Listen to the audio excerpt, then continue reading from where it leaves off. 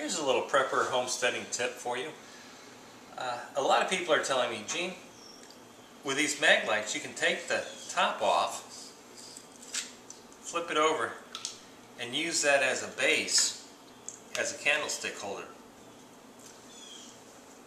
The problem that I have with this idea is it is so bright, it, it's annoying.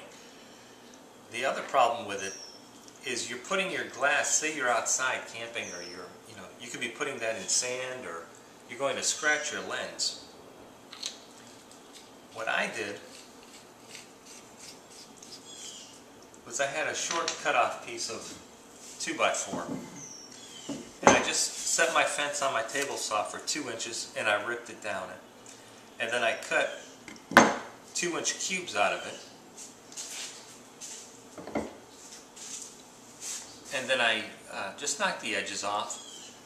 I drew an X on the back, okay, and in the center of the X is the center of my cube, and I used a 3 quarter inch Forstner bit, that's a flat bottom drill, and I drilled it out, stained it cherry, and put two coats of polyurethane. Now, I did a few of them, okay, they're free, I mean, they cost you no money and yet they are super handy to have. You can set these around your house in a blackout and you know have one in the bathroom, one in the hallway, two or three in the living room. You could set one up on a table and play cards or uh, you know board games. They are super convenient. I had set up quite a few of these at night for you to see. But with the iris on the camera, I can't get a good lighting shot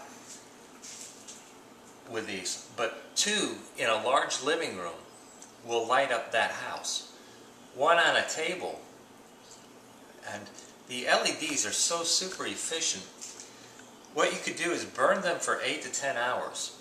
The next day, you could be uh, recharging them when the power comes on or the next couple of days if you have a few batteries.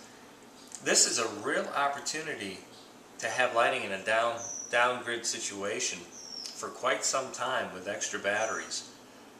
It, it's certainly worth looking into. I'm, I'm highly behind this idea.